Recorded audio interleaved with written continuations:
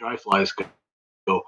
So we're going to skip the tying just because it, it's just too small. And uh, I didn't want to take the time to do a big giant streamer session for something like this. Um, hey, there we go. YouTube's up and running. Good thing.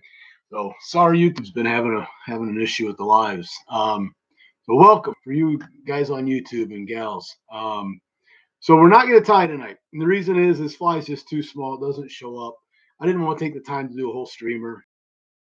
Take quite a bit of time away from what we want to talk about, which is trout fishing. This fly, though, the Irish Rover, is on YouTube. I will share it on our Facebook page as well, so you can see it. It is a well, I'm not going to go into too much detail because we're going to talk about it during the program. Um, it's killer fly though. It's uh, it's one I came up with. Um, geez, I don't know, maybe 2012, and it's a it's a really nice black stonefly pattern. Um, but I tie it in, in, yellow to imitate little yellow sallies as well. Um, and uh, it's it's a killer little stonefly. You know, they probably eat it as a caddis too if you tied it a little smaller, a little shorter. So let's get going on the on the trout. Um, so tonight we're going to talk about trout fishing. Um, we're going to talk mainly about brown trout, and we're going to talk mainly about uh, two rivers that, um, well, one section of one river and another river that I don't talk too much about because they're kind of my babies, and they're places that I go with my family and uh, with uh, my kids. Um, and I go on my days off. Uh, somebody asked me today, you know, have you been steelhead fishing on your days off? And and the answer is no. I don't do a whole lot of spring steelhead fishing on my own, to be honest with you. Um, uh, if I have a day off this time of the year, I'm typically trout fishing, um, or pike fishing, or muskie fishing. Uh, but trout, um, where we're going to talk about tonight, are two of my favorite places in the world, and uh, one is the perfect trout classroom, and is the and the other is just a perfect trout fishery. So let's get started. I'll move us on over and uh, and get going. Um, glad you're all here. Uh, don't forget tomorrow night for all you trout nuts, be a little nutty and come back for the long nose gar discussion. Uh, long nose gar, if you haven't tried it during that heat of the summer when the trout fishing's kind of slowed down, uh, long nose gar a really good option for those of you that like to throw streamers, especially. Um, and it's awesome. I'll show you some great videos and pictures tomorrow night on long nose gar. But let's get started on the trout. So,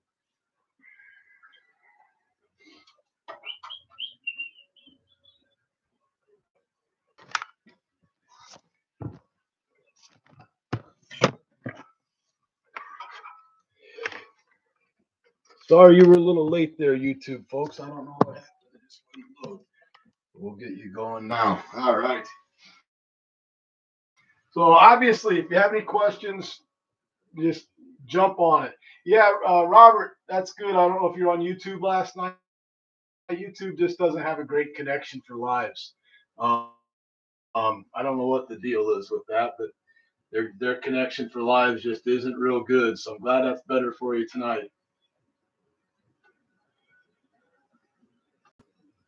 All right, here we go.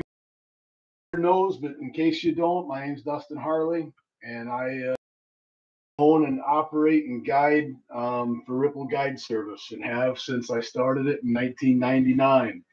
Been a lot of years. Um, time flies when you're having fun, especially fun with all my friends that I get to fish with. It's it's an awesome. It's cool. It's it's fun to fish the same folks year after year. Tonight, we're going to talk about trout. Um, basically, March to December, we can catch trout. If you had to, we could probably catch trout 12 months a year. Um, but the other months, I'm, I'm really, uh, you know, in February, I don't do much trout fishing. If I'm out, I'm typically uh, steelhead fishing that time of the year. But uh, but you could, uh, 12 months a year, catch trout around here. There's no question about it. Some streams are open year round. Oh, you're all here because you love trout. Everyone here loves trout. Hopefully, no one here loves trout this much. We don't have very many rainbows, brook trout uh, streams that I. Uh, the Dowagiac River, I've caught two brook trout in my life. Um, Dowagiac Creek, I've caught. Hey, Jack, how are you? Dowagiac Creek, I've caught uh, one rainbow in my life. So we're talking all browns for the most part tonight. Again, the majority of my guiding is done in this area right here. So Southwest Michigan or Northern Indiana, that's kind of my radius. Um, the streams we're going to talk about tonight are in this area, a little smaller radius. Uh, both of these streams we're going to talk about, for the most part anyway, that we're going to talk about, are within about uh, oh, 20 minutes of each other. Yeah, it was League Man, Eric. I love it. All right, so two streams we're going to talk about. Dowagiac River. This is above the dam. We're in the migratory trout section. Uh, this is the water that is above the dam. Um, now, very soon, there won't be a dam on the Dowagiac. So we'll be talking, I guess, about the whole thing. But as of right now, the dam is still there, and the water we're talking about is above the dam. I will catch more trout in a day above the dam than I will for an entire year below the dam. And that's the truth. More fish in one day above the dam than I will in a many trout below the dam. The trout that are there are pretty big, but there aren't that many. And I'll show you a few here in a while, though, that are. And there are some big trout down there. Yeah, Gail, there. Uh, he asked if the dam is still there. Yes, it's still there. Um, it's slated to be taken out this summer, but I don't know if this COVID uh, shutdown is going to impact that at all. I would assume that it will, but I have any word that it will for sure or not. But I would assume that it might. Maybe we're going to get another year out of it. We'll see. But as of right now, yes, it's still there. Above the dam is not real wadeable, unfortunately. Um, it's deep. Um, it's mainly boat water. There are a few places you can jump in and wade. Uh, Dodd Park being one of those. Um, in the middle of the summer when it's super hot and you just want to go in a pair of shorts, you can go wade wherever. But if you're having to wear waders and you're worried about filling your waders, it's not a good idea to wade above the dam very often. Uh, it very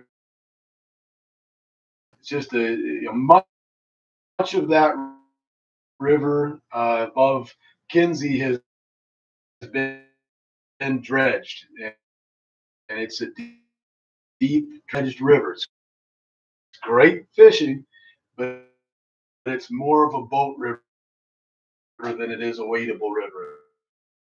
It's just now got a couple of other. Uh, Creek is, is in, my opinion, the, trout classroom that you can have. And why I say it's very accessible, it's very wadeable. It has great hatches. The insects are coming off at the times and at the places and at the times of the year. That, um, there are a lot, lot of brown, trout in the Dowagiac Creek. However, 15 inch trout in Dowagiac Creek. Don't get me wrong. But your average fish is going to be small.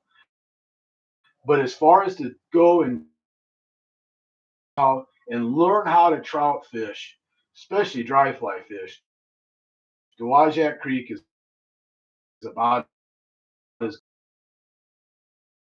both guided out in Montana for years and years over anything I ever fished in Montana to teach someone how to dry fly fish.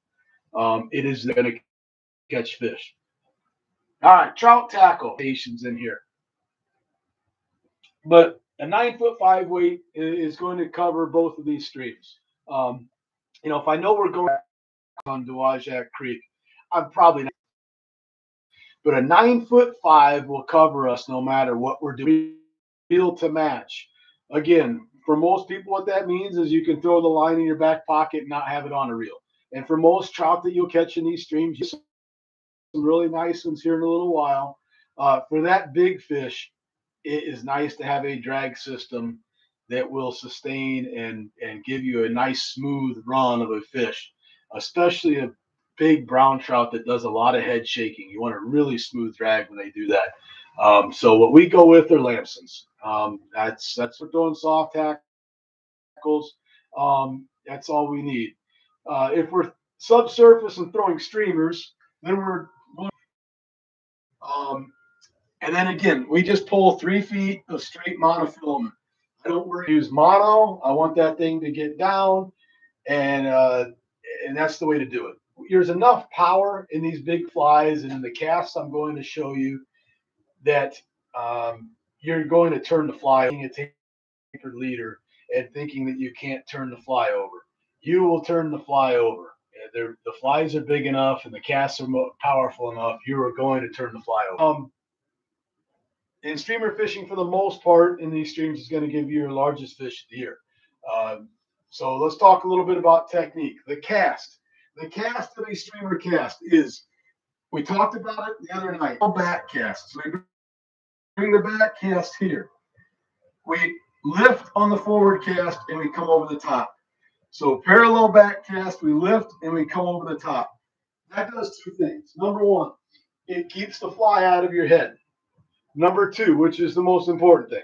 Number two, it powers that cast to where we're turning the fly over and we're smacking and nothing soft and nothing delicate about streamer fishing. I want that fly to smack down on the water as hard as I can get it to smack down. That does two things. Number one, it scares away the small fish that we're not wanting to catch anyway. Number two, it wakes up the big fish, and now pick up those big fish.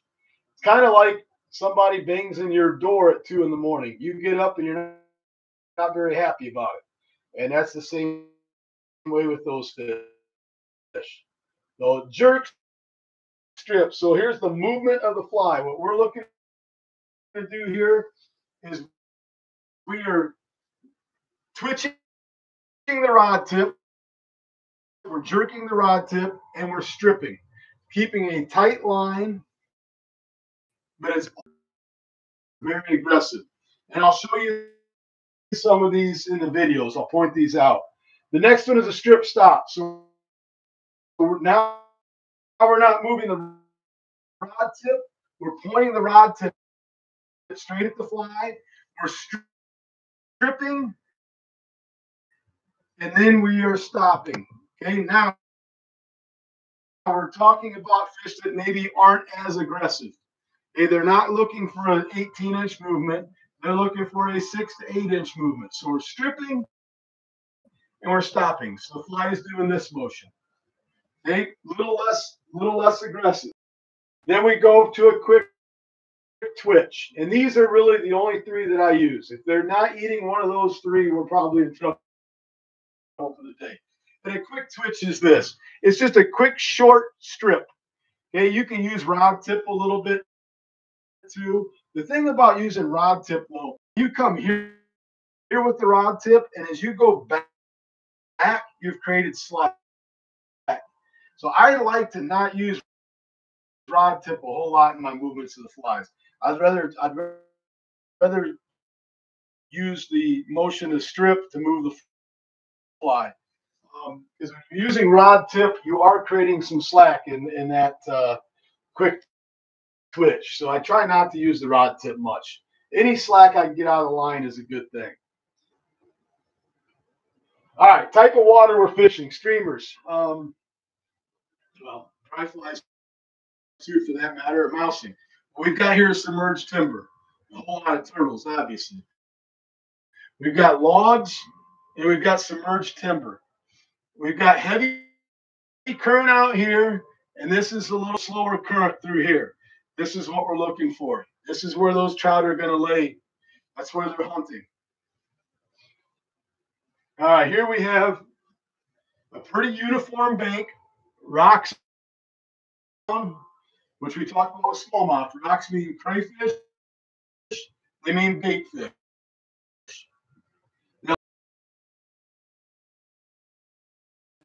Yes, but what we have here is a pretty uniform bank. It looks really nondescript, like there's really nothing there. But what you can see right here is that bank drops off. And this, this is a bank that I have seen more big fish come out of than probably any bank I've ever fished. And it, most folks probably don't even fishing. It doesn't look like anything. But right here, there's a drop off about a four, four feet drop, uh, four feet off the bank. It drops off. And if we can get the fly here and strip it off of that drop off, like I said, I see more big fish come off that bank than I have any other that I've ever guided on. All right. So a couple techniques here. Um, typically, I like to keep my cast directly across river, right here. But we got a little too close, so we're getting the cast down by the down by the tree now. We've already hit all, all this. There's a log here that you can't see that kind of keeps us from going way over here, so we can cast straight across. Um, we're going to end up over there, but it's going to be a little too late. We're going to scoop this fish if we don't get the cast downstream. There's a little back eddy right there. So if you watch here,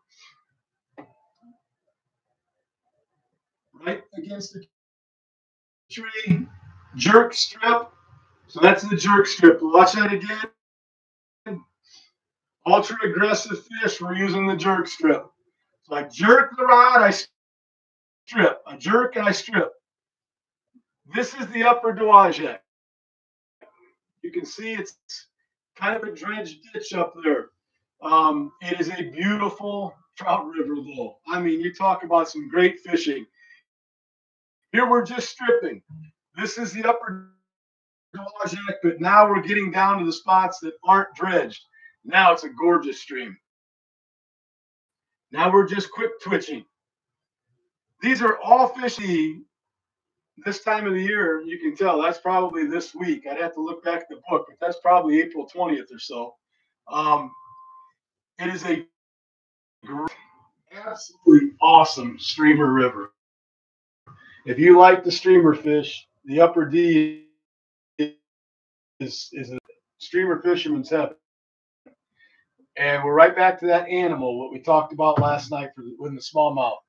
This is a great stream series. Um, Russ Madden series of streamers. There's some great streamers out there.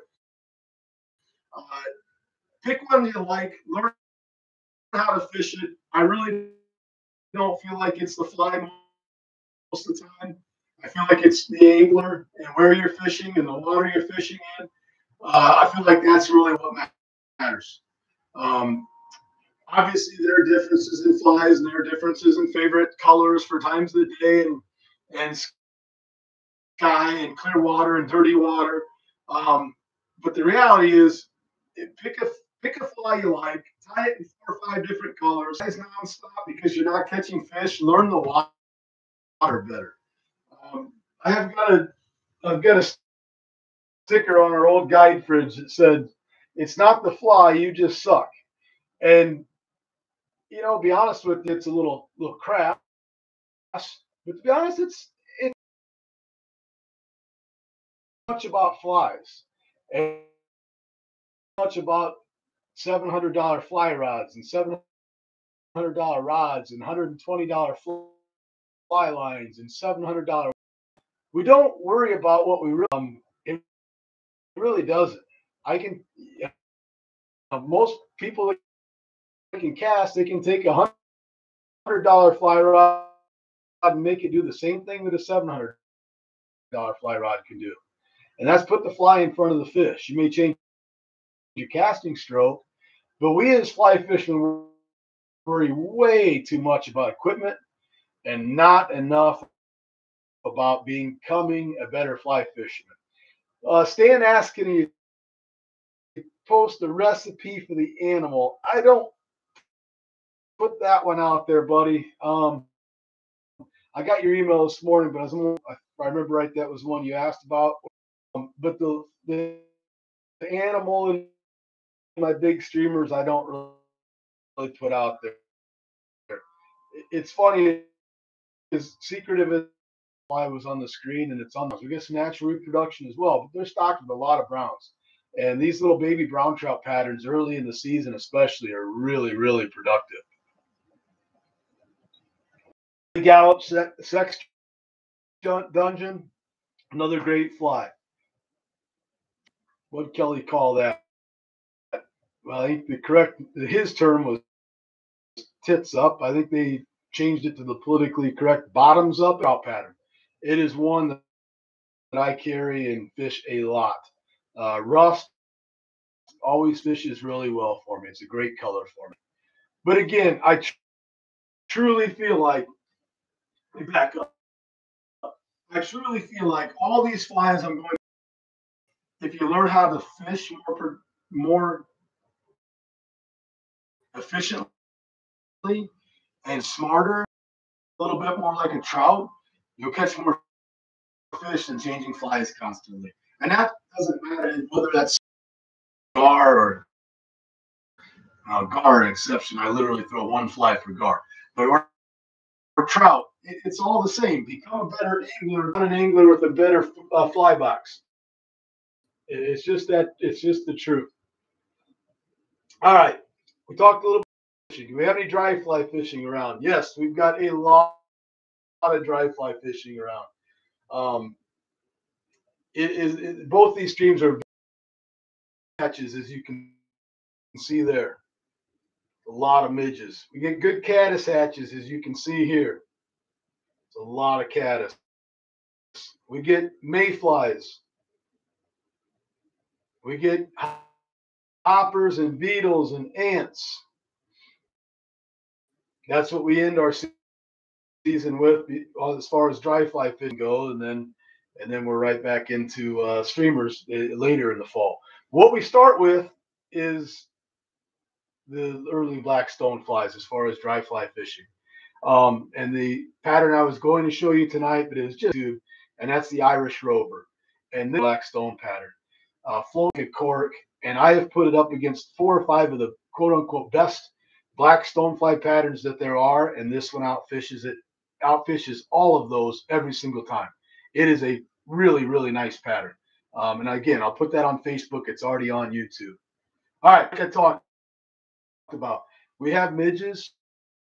That's early in the season. Uh, that's now and uh, through about mid-May. Um, we get an early black stonefly hatch, which is our earliest hatch. That's normally starts late, is normally in March, and goes typically until yeah, the beginning of April. Um, then we um, Blue-wing olives. We do get some blue-wing olives, not a ton. Um, we get mahoganies.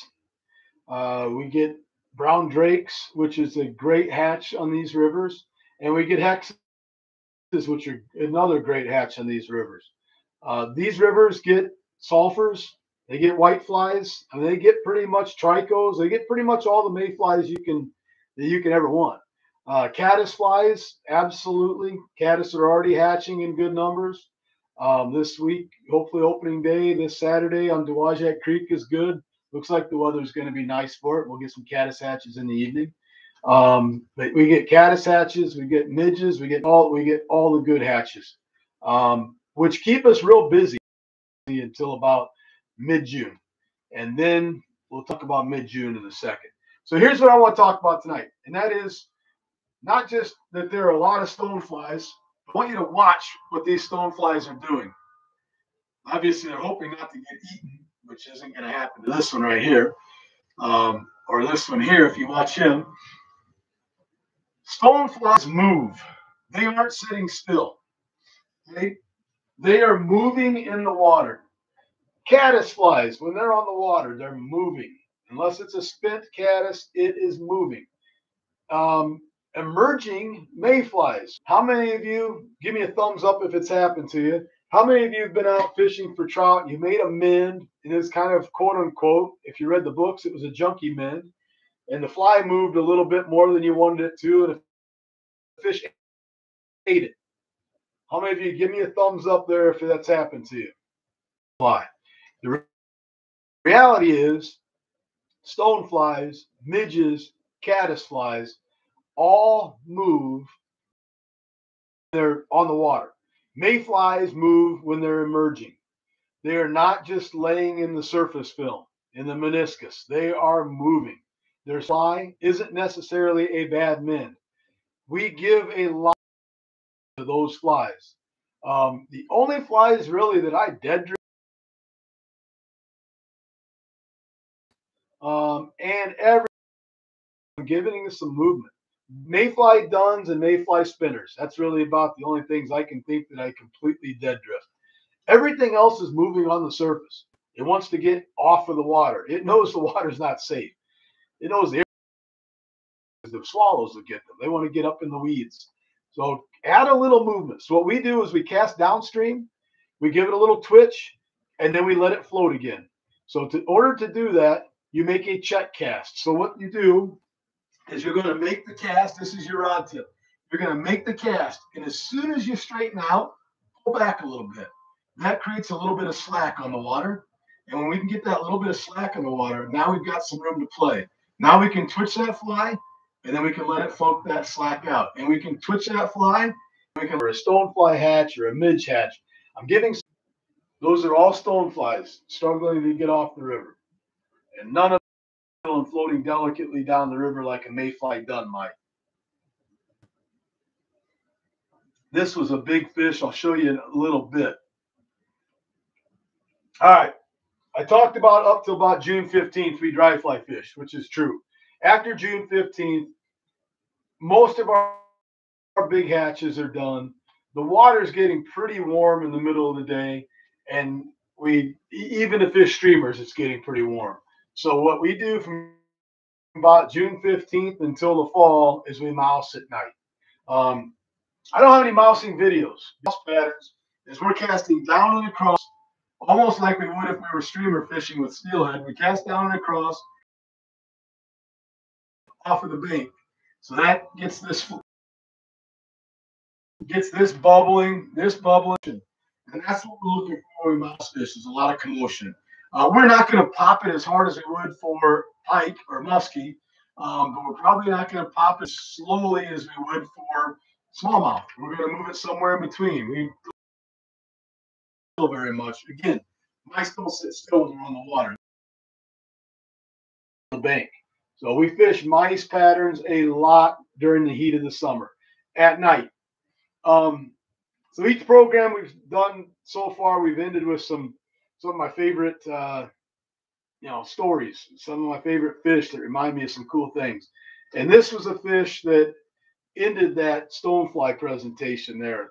I said it was a nice fish that was eating eating uh, stoneflies. I had a guide's day off that day. It was a Saturday. It was last April might have been late March. I don't remember for sure. Um, Jake was guiding steelhead down below the dam. I was fishing on my own above the dam for for uh, trout. Had a banner day that day with the stonefly hatch. It was just awesome. And this 22 incher came up, ate a stonefly on a three weight, and ate me up. But I ended up landing it. So I t- send this t- picture here to Jake, who again Jake's guiding below the dam, and I'm thinking I've got the kingfish for the day, right? So it wasn't a minute later. Jake sends me this. He says, "Oh, that's a cute little fish, but we just landed a 23 incher." I tried to argue that I caught mine on a dry fly, and Rich his. I don't know who wins that argument. I do know this though. If you want to find big brown trout, be on the river the day that Rich Premick from Cincinnati is on the river um, because this is a 23 inch fish last year, and this, this is a 23 and a half inch fish that he got this year. Oh, pounds. Yeah, Jake, it broke my heart. I thought I was the big man for the day. I see you laughing at me. this is another fish I love from last year. Um, this fish not giant. I think it was right at 20. Um, but here's the deal with this fish. We had this fish eat three different days in a row. We couldn't get it poked. I rode the boat way back upstream, kind of sat around for a bit to let it chill out, came back through. The thing ate right against the boat. We missed it. Probably never felt the hook. It probably ate it sideways and back in, and it ate it again right beside the boat. You talk about an aggressive, hungry trout that wasn't leaving its spot. That's the one right there. This fish taught me a, but I literally ooh, there's a good one. Well, guess where he caught it? Right there. Literally right where I had just walked, not even two minutes early, is this. And I can prove this to you on the river so many times. We are sometimes uh,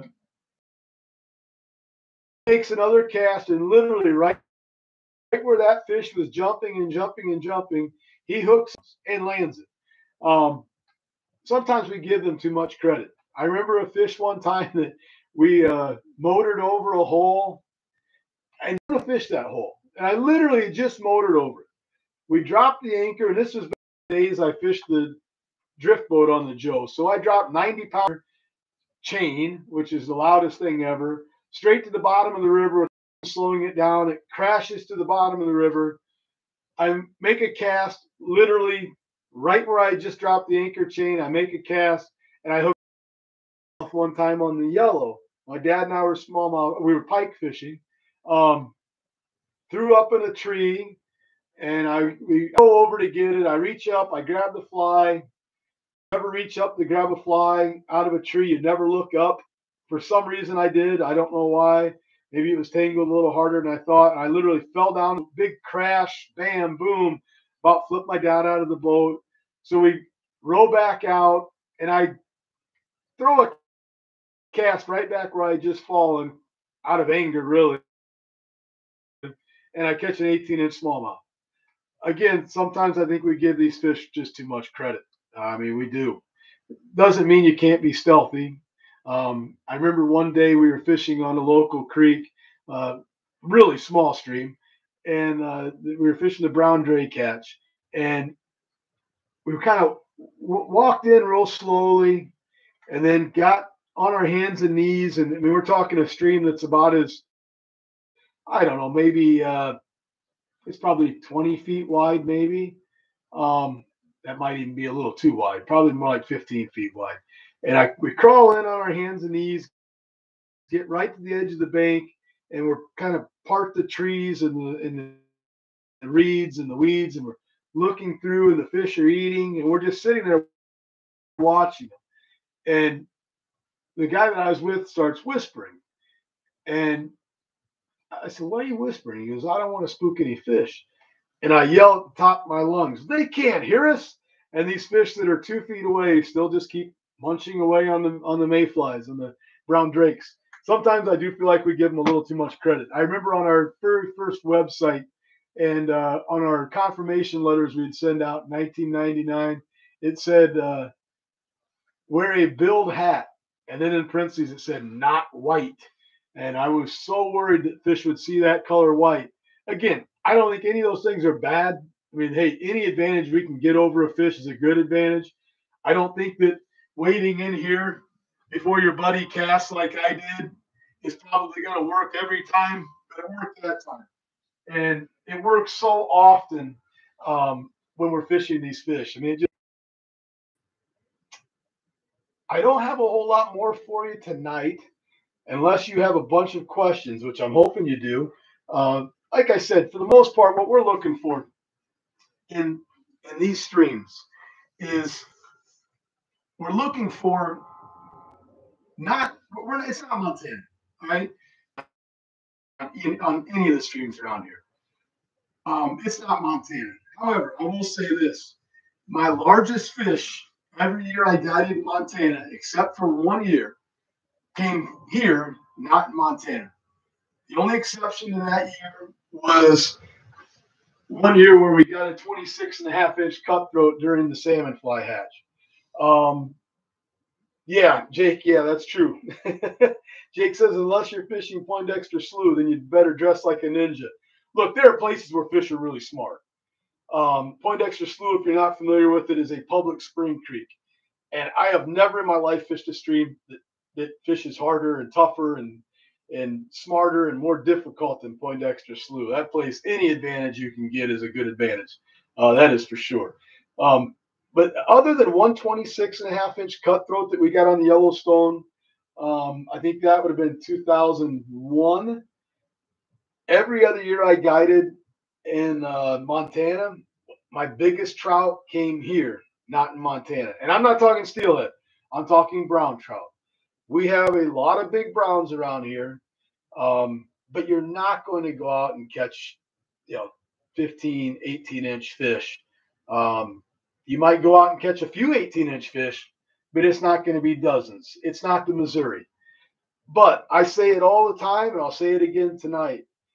I will take the fishing we have in this area over the fishing that we have in Montana any time. Um, the reason is this, and it's variety. In Montana, I can't talk about the species I've talked about. Uh, we can't talk about the numbers of species we talked about so far. We've got another night yet. Um, the variety of species we have around here within an hour of South Bend is absolutely not found anywhere else. Um, the Great Lakes region is is is just great. I mean, it just is.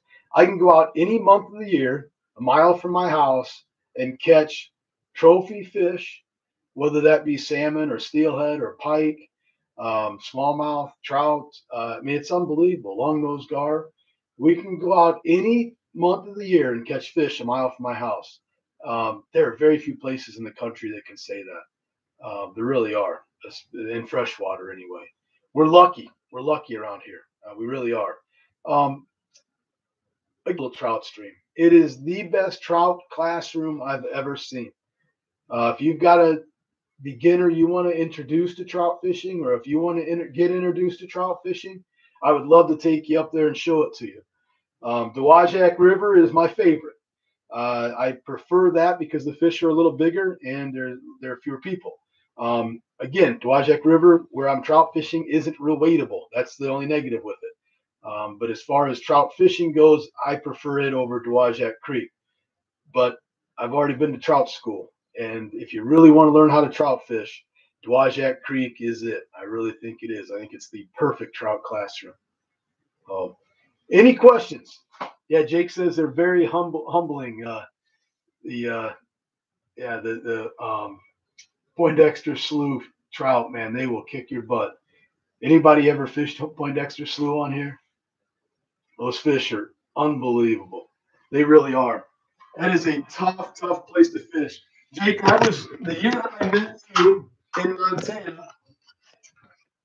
I had just fished Poindexter Slough and probably got my butt kicked.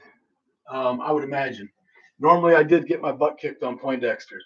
I mean, if you got there really early in the morning and you found some good, you know, good uh, trico hatch, you could catch some fish. But man, it was tough. All right, there were a couple of questions. Let me go back up there. Justin says, a little off topic. Does the name of your guide service have anything to do with the dead song Ripple? Justin, it has everything to do with the song Ripple. So I don't normally do this, buddy, but we'll do it. Let's see if you, yeah, if you want to hear some great stories about that song, uh, give me a call and I'll tell you. Uh oh. Hold on. And uh, that was a cool. That was a cool night. Um, yeah, absolutely. Tyler asked, I was trout fishing and found a good spot to wade. Doing high stick nymphing, dead drifting technique. He showed me about five minutes later. I noticed about 12 rainbow trout in that same spot. Every time I got my nymph by them, they'd swim up, look at it, and not eat it. Switch to a different pattern. Yeah, I mean, if they're really swimming up and looking at your fly, then you might have a fly issue. But the first thing I would change is I would drop down tippet size. Um, I don't know what tippet you're using, but if if you're getting fish attention and they're not eating and you can see that, uh, that's probably what I would do is I would change flies. But first, I'd probably anyway. So that's that's what I would do. Um, let's see, what was the other? There was another question. Do you ever fish the soft hackle dropper under your dries? So Jeff, no, I don't very often. Um, I fish a lot of soft hackles. Uh, we didn't talk too much about soft hackles in that, and I should have talked more about soft hackles because I do fish a ton of soft. Um, I don't use so yeah, Tyler. Depending on what type of water you're fishing, maybe drop down. I mean, five X nymphing that's pretty small. So I'd have probably, I would have probably grabbed you know just another fly because five X tippet nymphing that's fairly small already, especially this time of the year. Because to me, a soft hackle is a great imitation of a, an emerging caddis. And when I see fish eating emerging caddis, uh, that's my go-to fly. And even when I don't see them eating emerging caddis, unless there's a hatch going on this time of the year, I'm doing one of two things: soft hackles, or I'm fishing streamers. Um, I typically so yeah, I'd fish soft hackles a lot um, this time of the year, especially, but not typically as a dropper on a dry. I don't normally use dries as trout here uh, in this area, it's not it's not a tractor. I'm not searching with it. I'm finding a fish that's rising, and we're casting to a an individual fish or a pod of you know of individual fish.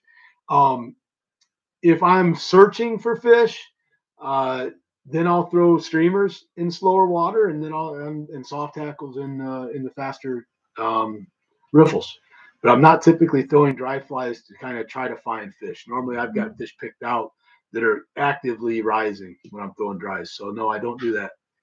Yeah, jumping. Eric says jumping. Why did I? Why did you start guiding in 1999? Um, that's when I graduated college. So as soon as I graduated college, I started guiding.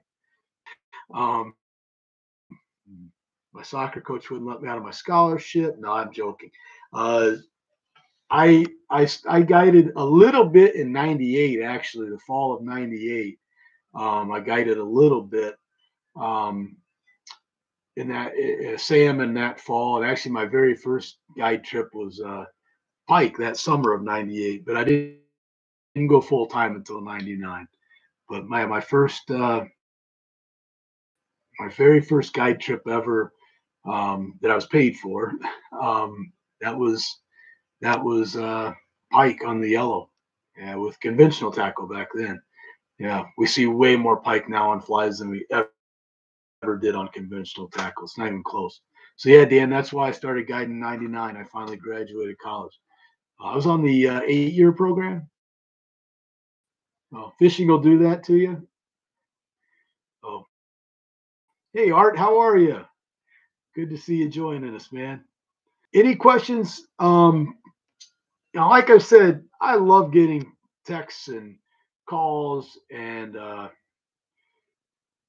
okay, Tom, uh, float the Dowagiac River. So above the dam, no, you cannot put a drift boat above the dam. Um, canoe, yeah, yeah, you can put a canoe. The issue with the canoe is this. Um, there are oftentimes a lot of log jams, and I worry about you getting halfway up a log and then tipping or sideways into a log. Uh, the upper Dowagiac is, like I said, it's narrow and it's been dredged, and the banks aren't real stable. So there are a lot of logs in that river. A lot of lot of big nasty log jams. A drift boat though, no, not a chance. There's nowhere to put a drift boat in or take a drift boat out. Um, so yeah, the lower Dowagiac you can do a drift boat, but not the upper. So yeah, like I said, if you guys any questions, whether anything that we talked about, smallies or pike or muskie, or I love answering questions. I, I you know, to me, I spent a lot of time on the water. Um, I spent a lot of time in college because I was on the water. I've spent a lot of time fishing, and uh, there's anything I can help anybody with, whether you ever use me as a guide or not, um, no big deal to me. Give me a call. And I always tell people, you know, Thursday night we're going to do a discussion about gear, and we're going to talk about all the little things that we use, whether it's rods, reels, or you know, different vices, and all the things that we use, and um, the things that we use, we use a lot and we've used a lot of different uh, brands and a lot of different lines inside of those brands. And uh, I don't make any money off of anything that I that I recommend. So I'm always going to give you the straight shot. And I'm not saying fly shops won't give you the straight shot, but uh, they do sometimes have a, you know, they're they're swayed a little bit sometimes. I'm not, so I'm going to give you the honest truth. Um, why? What float? What boat do I normally float the upper? Uh, I use a raft. Yeah, um, I've got a uh, I've got a raft that I use. We used to have a small little tiny boat that we, um, but it got awfully heavy to pick up over the log jams as I got older and bad shoulders and bad knees from soccer. Um, so yeah, I use a raft up there. And some sections are not floatable. Uh, there are sections that I cannot float. Doesn't matter how much I, you know, would love to. Um, I can't float them. There are some sections that just they have log jams as big as my stinking house. Um, I don't mind cutting a tree now and again to get something down, but literally, uh, some of the log jams on some of the sections you'd need dynamite. So there are some sections I just I, you can't float it in my raft. You can't float it in anything. But when I do float up there, um, it's in a raft. Yeah, it's in a Smithfly. And he makes great rafts. So that's Thursday night. It's kind of that gear um, gear night. So come prepared for questions. Uh, I doubt that we haven't used, and I'm going to be 100% honest on all those questions, and I'm hoping I don't step on anybody's toes. But there are some things I love, and there are some things I absolutely do not love. And I, like I said, I don't make money from anybody uh, when it comes to gear. So I will tell you the straight. Got a lot of money when I was first starting out in this thing on stuff I should have never spent money on. I've got so I had I sold a ton of rods a few years ago, but I had so many rods out in my garage that I they were junk. Um, I, I remember I had one Winston that was know exactly what it was because he knows. Um, it you know there are some things out there that I, I just don't care for. Um, they don't work for the amount of money you're spending. They just aren't worth that amount of money. Um, and there are other things that are that work better and will save you some money. So we'll we'll go through all that stuff. And I promise you, I'm not going to be worried about stepping on any company's toes. We'll let you know what we think about it because that's what I'm here for is pass on my knowledge. And uh, Jake and I both made a lot of mistakes in buying things that we thought were going to be great and that ended up not being great. And we'll, we'll let you know what those were. So, um, and the things that we love, we'll let you know what those are too, because there are a lot of brands that we use and a lot of lines and those brands that we use that are, they're phenomenal. They're great things to spend your money on. Any questions about tonight? Again, tomorrow's uh, GAR, and then Thursday we'll wrap it this weekend. Dowagiac Creek's waiting for you. Um, only the only the uh, non-law abiding locals have been for you. So go hit it. Uh, it's a like I said, Dowagiac Creek's a super trout fishery. Great trout classroom. Um, soft hackles throughout the day, uh, caddis in the evening. That's kind of your opening day. Uh, you know, two flies. You're gonna take two flies to Dowagiac Creek on Saturday, and it's a uh, little orange and black ribbed soft hackle throughout the rest of the day. Uh, did you say Dodd Park was wadeable? Yeah, Robert. Dodd Park is wadeable. Um, there's a couple spots there you got to be a little careful of, but for the most part, it's wadeable. Uh, you know, the interesting thing about Dodd Park is this, um, where they put in a meander. So again, most of the water above the dam has been dredged, uh, but they literally built, rebuilt, I should say. Uh, they rebuilt a section in Dodd Park uh, back. They connected that. Um, so they basically put the river back where it was supposed to be. Uh, I have not caught a big fish in Dodd Park since they did that. And uh, I, outside that section on either side, upstream and downstream. But through the park itself, I haven't caught a big fish in there since they put the meander back in.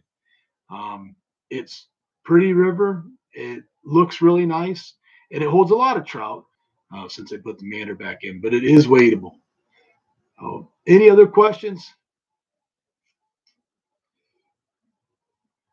Hopefully, you're getting out tying some flies, getting out fishing. I know I got a bunch of emails this morning on steelhead, but um, if you know if you have any questions, shoot them to me. Don't hesitate to ask anything. I'll I'll get them answered however best I can. Um, hope you enjoyed it. Hope I saw one here. William asked, slump busters productive as far as streamers, particularly olive color. So we talked a little bit about as far as uh, you know different streamers, and that I don't really feel like this the fly makes a whole lot of difference. Color does though. But here's what I would recommend if you're looking for, let's say, three slump busters in olive. One would be articulated fly that's an inch and a half to two inches. Uh, then I would have an articulated fly that's a little larger. And then I would have an articulated fly that's a little larger than that. I don't think the pattern really makes that big of a difference. I really don't. You know, again, I say that I carry, I don't know how many trout streamers, different patterns. Gosh, probably in my box, I have 30 different streamers, and each one of them is probably in three or four different colors. But I really don't feel like most of the time the pattern makes that big. Ah, man, Jake, I you know it's it's I talk about that a little bit in that video, and I meant to mention that. And Jake hit it on the head. Jake said, "Take the time to study the water and approach it with a purpose. Don't run." And man, is that the truth? Um, you know, so many folks jump into a trout stream and and spook the fish that they could have caught, which is standing, which is sitting in the water that they just stepped into. And if you watch the water, like Jake said, you sit and fish, whether they're eating or whether they're just laying behind a log that you would have never seen just running down a river, flailing away and and uh, casting on any flying fish in in Michigan or Indiana. Keep the fly in the water. But when it comes to trout, it is best to sit on that bank for a little bit before you jump in. Or when you turn a corner, on a trout stream, hit the pause button for a second. Full. I've, I've, there's a section on Dowagiac Creek that comes to my mind, and it's a 90 degree bend, and you come around the bend